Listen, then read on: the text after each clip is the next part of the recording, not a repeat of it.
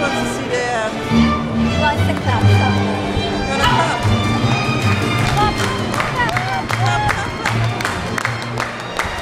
No, he's not doing it.